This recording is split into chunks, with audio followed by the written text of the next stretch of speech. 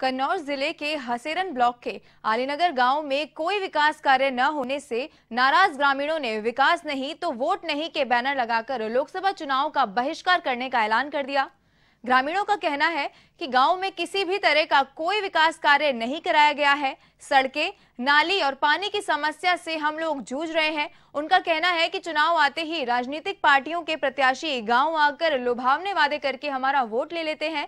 और इसके बाद फिर कभी पलटकर गाँव की तरफ़ देखते भी नहीं है।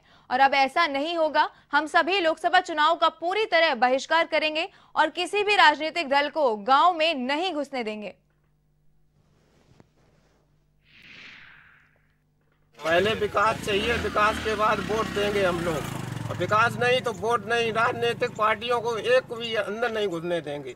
जितनी भी यहाँ की पब्लिक है हमारे गाँव की वो सभी पब्लिक जो है एकजुट हो चुकी है, किसी भी राजनीतिक पार्टी को अंदर नहीं घुसने देंगे।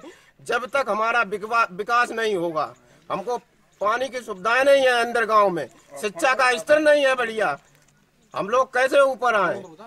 हम गरीब लोग हैं, इसलिए जो है कोई गवर्नमेंट देश और दुनिया की हर छोटी बड़ी खबर के लिए सब्सक्राइब करें एवन टीवी न्यूज़ साथ ही बेल आइकन को प्रेस करें ताकि आप पा सकें ताज़ा खबरों की नोटिफिकेशन